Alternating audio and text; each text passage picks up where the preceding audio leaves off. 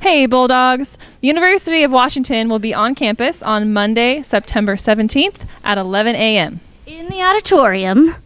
And this is Mandy McCall saying, Bow down, Huskies. And this is fellow UW alum, Mrs. Teresa Thomas, saying, Be there. Go Huskies!